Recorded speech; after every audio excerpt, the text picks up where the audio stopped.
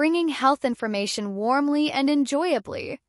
This is the PillMuse channel.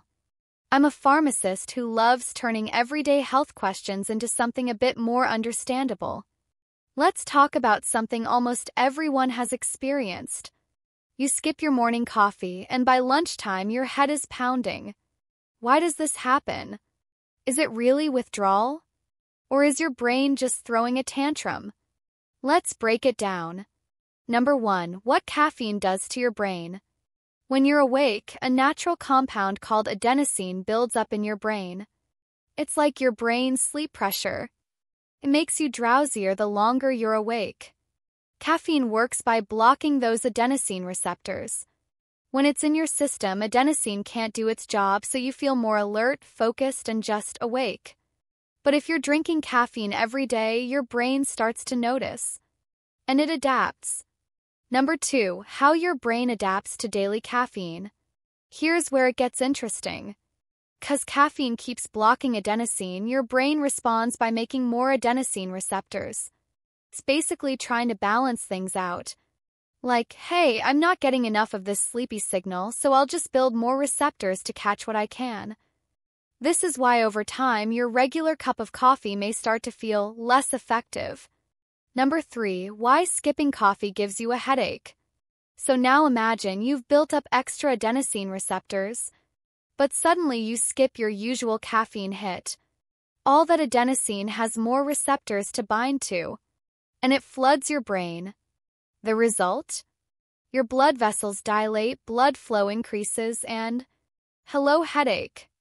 You may also feel extra tired, foggy, even a bit irritable.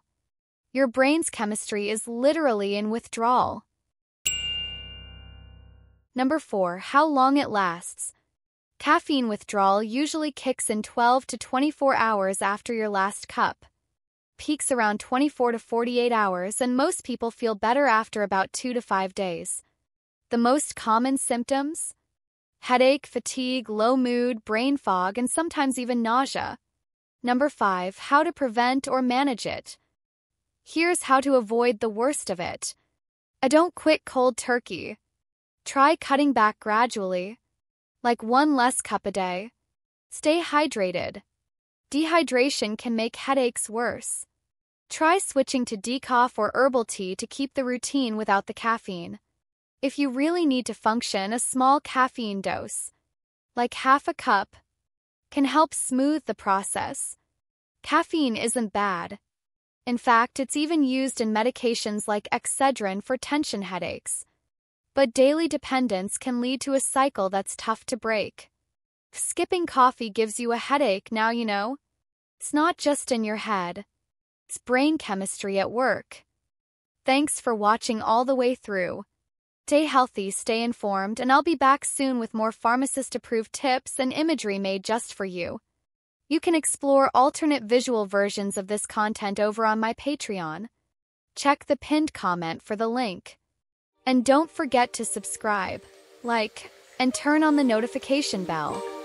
It really helps me keep creating high quality content that supports your health.